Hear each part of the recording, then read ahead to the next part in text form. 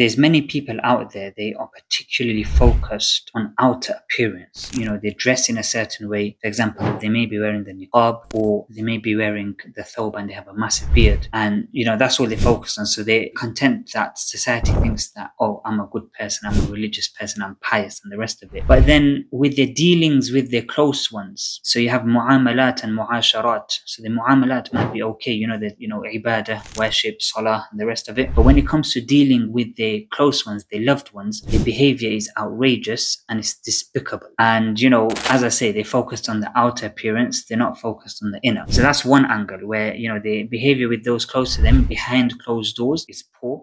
And number two is they're not focused on the diseases of the heart, the inner. So again, on the outside, they'll be looking like they're doing great stuff, but inside they hold jealousy, anger, hatred, envy, stinginess, backbiting, gossiping. None of this is ideal. You need to focus on both the outer and more importantly, I would definitely say more importantly, the inner.